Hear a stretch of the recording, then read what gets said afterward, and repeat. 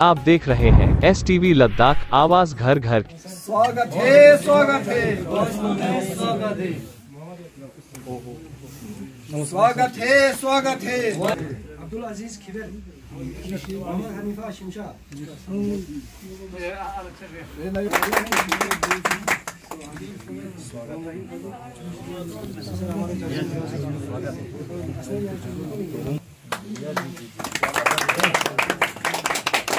Ulan bana çık.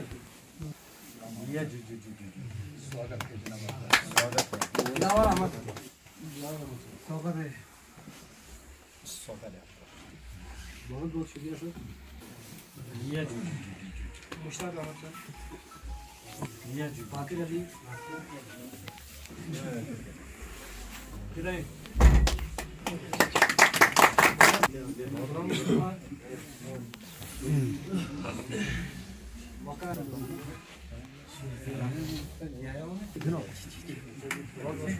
लोगों ने अभी उसको सब सेंटर कहते हैं। उसी तरह पीएससी है एनटीपीएससी है, सब डिस्ट्रिक्ट हॉस्पिटल है, या ब्लॉक लेवल पे डिस्ट्रिक्ट लेवल पे जितने भी मेडिकल सेंटर्स है, वो सारा भी जून के एंडिंग तक इलेक्ट्रीफाइड हो जाए। ये इसलिए हमने डिसीज़न लिया क्योंकि आज ट्वेंटी सेंचुरी में सभी लोग, जैसे कि एजुकेशन में हम स्मार्ट क्लास की बात करते हैं। डिजिटल एजुकेशन की बात करते हैं। जब तक हमारे स्कूल इलेक्ट्रीफाइड नहीं है, तब तक हम डिजिटल के सपना नहीं दे तो ये बहुत बड़ा डिसीज़न है और एक रिफॉर्मेटिव स्टेप है। हेल्थ डिपार्टमेंट में इसलिए ज़रूरी है, अभी मोदी सरकार का एक नया स्कीम है नेशनल डिजिटल हेल्थ मिशन जितने भी हर एक इंडिविजुअल के हेल्थ से रिलेटेड इश्यूज़ उसको डिजिटलाइज डिजिटलाइज करेंगे। फॉर एग्जांपल मान लो कारगिल डिस्ट्रिक्ट हॉस्पिटल में एक मरीज़ दिखाया और यहाँ से आपको श्रीनगर रेफर किया, श्रीनगर से आपको दिल्ली रेफर किया, आपको पूरा फ़ाइल उठा के जाना पड़ेगा। तो बहुत सारे फ़ाइल गुम हो जाता है। बहुत सारे हमारे गाँव के बुज़ुर्ग लोग जो है, कम पढ़े लिखे लोग जो है, खो देते हैं फ़ाइल को। फिर नया ओपीडी से शुरू करना पड़ता है। तो एक बहुत सारा मेडिकल रिकॉर्ड मेंटेन करना बहुत ज़रूरी है। ठीक? मैंने आज से दस साल पहले कौन सा दवाई खाया? मुझे खुद को याद नहीं है, मेरे पास रिकॉर्ड भी नहीं है। तो नया दवाई डॉक्टर क्या रिकमेंड करे? उसमें प्रॉब्लम होते हैं। तो उससे बहुत सारे प्रॉब्लम होते हैं मेडिकल केसेस को लेके। तो ये सारा सिंपल करने के लिए सभी, हर एक इंडिविजुअल का, हर एक नागरिक का हेल्थ रिकॉर्ड जो है मेडिकल रिकॉर्ड है, वो डिजिटलाइज कर आज के डेट में सभी कारगिल के, मैं बताना चाहता हूँ 90 परसेंट लोगों का डिजिटल ये हेल्थ मिशन के तहत आईडी बन चुका है। अब उसमें क्या होगा? मान लो कल को मेरा यहाँ ट्रीटमेंट होगा। शाकर ब्लॉक में मेरा ट्रीटमेंट होगा। वहाँ पे मुझे क्या इलाज देते हैं वो? फिर मैं यहाँ आऊँगा तो मैं अपने आईडी डालने के, आईडी डालने से मेरा सारा रिकॉर्ड यहाँ मिल जाएगा। फिर वो श्रीनगर में, दिल्ली में जहाँ भी जाए वो अवेलेबल हो जाएगा। तो किसी को डॉक्यूमेंट उठाने की ज़रूरत नहीं पड़ेगा। ये बहुत बड़ा स्टेप है। अब इसको और भी कमियाबी तरीके से ग्राउंड पे पहुँचाने के लिए हमारे सभी मेडिकल इंस्टीट्यूशन जो है वो इलेक्ट्रीफाइड होगा। इंटरनेट से कनेक्टेड होगा। तब जाके हम गुड गवर्नेंस जो है, अंत तक, हमारा लक्ष्य है ना, कि अंत तक हमारे सारे बेनिफिट वहाँ पहुँचे। ऐसे बहुत सारे डिसीज़न आज लिया मैं मेजर मेजर एक दो तीन बता रहा हूँ आपको। प्रधानमंत्री उज्ज्वला योजना के तहत कारगिल में उन्नीस हज़ार उन्नीस लोगों को सिलेंडर पहुँचा दिया हमारे सरकार ने। बहुत बड़ा काम है ये। उसी तरह ओल्ड एज पेंशन में हर एक बंदे के अकाउंट में जितना भी ओल्ड एज है, जितना भी विडो है, जितना भी डिफरेंटली एबल्ड है, सबके अकाउंट में पैसा पहुँचा दिया और 100 परसेंट अचीवमेंट है हमारे आज के डिपार्टमेंट में। तो ये सारा जो है, पिछले बार मैंने मीटिंग लिया वो नहीं था, लेकिन मैंने वहाँ सबको टारगेट दिया। नेक्स्ट मीटिंग में मुझे ये सारा प्रोग्रेस चाहिए। आज मैं बहुत मैं बहुत खुश हूँ क्योंकि ये सारा अचीवमेंट जो है, हम सबके मेहनत से ये चल रहा है। ये हुआ आज के। और भी बहुत सारे, वो शाम को प्रेस रिलीज़ इंफॉर्मेशन डिपार्टमेंट देगा तो शायद उसमें ज़्यादा डिटेल आपको मिलेगा। जब भी मैं कारगिल आता हूँ, कारगिल के बहुत जो है बड़े बड़े डिमांड्स पहले भी रहते थे, आज भी है। और खासकर दराज वालों को मैं बताना चाहता हूँ। महास रूप से बताना चाहता हूँ। मैं खत्ते लद्दाख का पहला एमपी हूँ। आपके दराज के नाम बार बार मैंने पार्लियामेंट में खड़ा होकर पार्लियामेंट में खड़ा होके बोला, दराज को डिस्ट्रिक्ट देने की ज़रूरत है।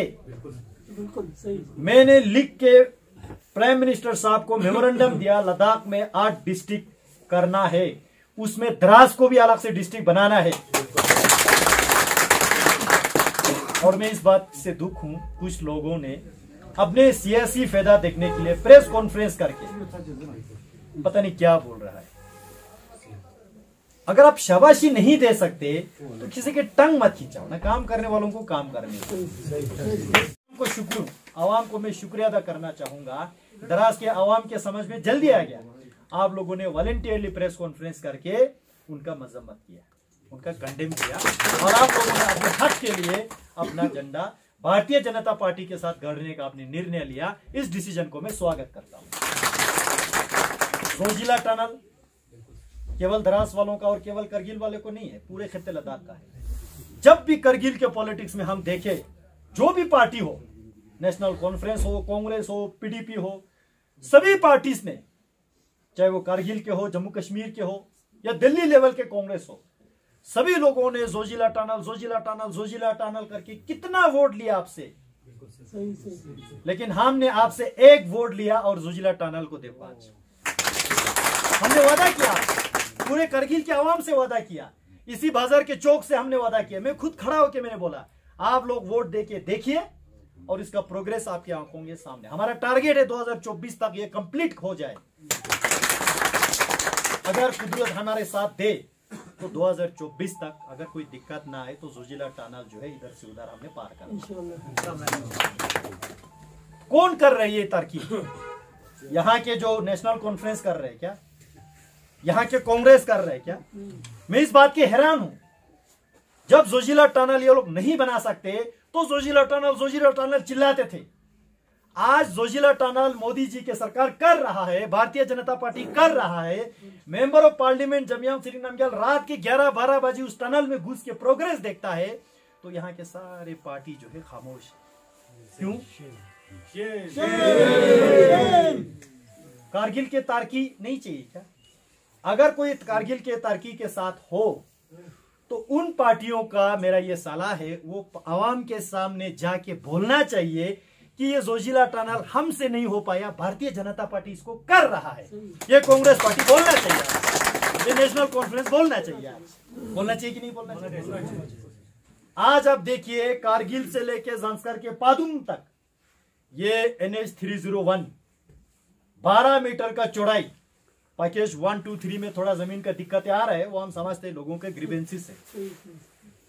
बाकी इतना बढ़िया रोड कौन कर रहे भारतीय जनता पार्टी के सरकार, नरेंद्र मोदी जी की लीडरशिप में। कर रहे कि नहीं कर रहे?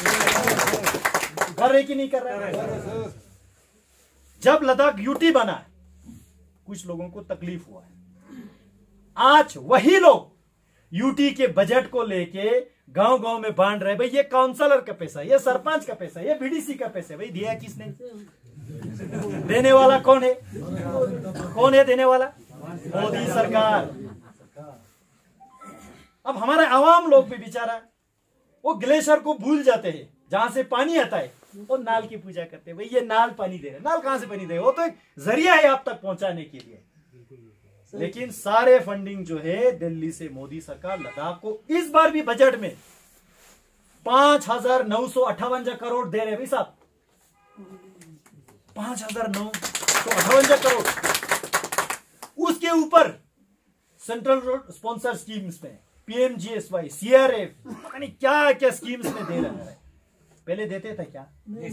यहाँ पे अगर कोई ठेकेदारी के काम करते हो मैं पूछना चाहूँगा यूटी बनने से पहले आपको डिस्ट्रिक्ट प्लान से या किसी भी स्टेट सेक्टर से आप छोटा सा काम लेते हो पाँच लाख के लिंक रोड बनाना। है आपको पाँच लाख हाथ में आने के लिए पंद्रह साल लगता था। लगता था कि नहीं लगता था? पाँच लाख मिलने के लिए पंद्रह साल लगता था। आज करगिल के सभी ठेकेदारों को आप पूछिए।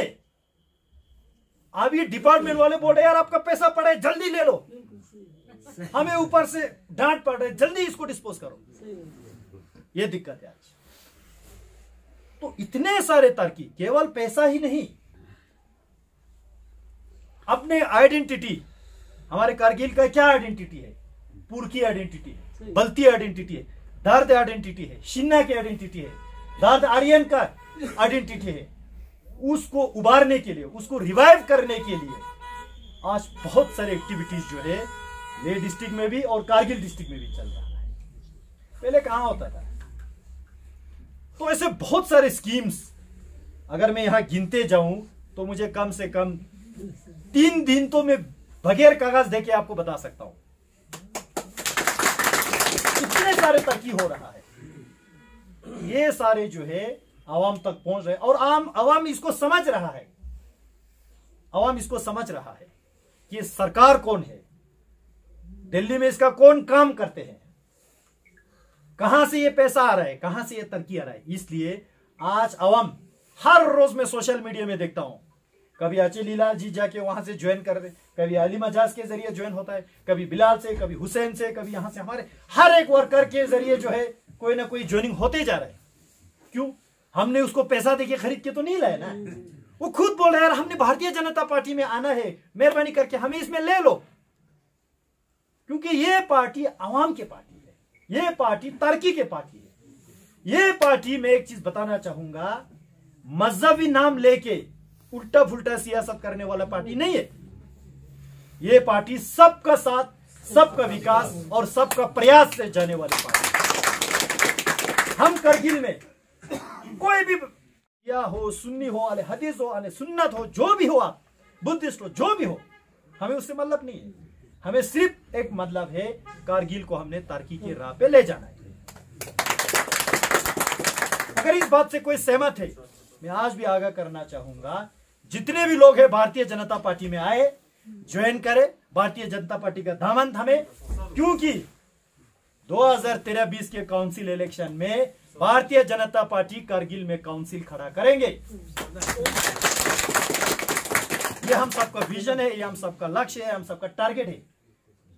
भारतीय जनता पार्टी का फुल फ्लेज कारगिल में जब काउंसिल बैठेगा तो काम इससे ज़्यादा स्पीड में जाएगा। बहुत सारे सेंट्रल मिनिस्टर यहाँ आएँगे तब। बहुत सारे पार्लियामेंट्री डेलीगेशन यहाँ आएँगे। थोड़ा पॉलिटिकल सपोर्ट भी तो हमें चाहिए ना। पॉलिटिकल सपोर्ट चाहिए क्योंकि ये सारा जो है पॉलिटिक्स इस पे काम कर रहा है। आपने देखा ले में कितना मिनिस्टर आ रहा है? कितना पार्लियामेंट्री डेलीगेशन आ रहा है? क्यों आ रहे क्योंकि वहाँ काउंसिल फुल फ्लेज भाजपा का है। काउंसिल उसको रिक्वेस्ट कर रहे हैं बार बार बुला रहे काउंसिल उसको होस्ट कर रहे हैं। यहाँ हमें भारतीय जनता पार्टी का फुल फ्लेज काउंसिल चाहिए ताकि कारगिल ले से भी आगे जाए। बहुत तरक्की करे।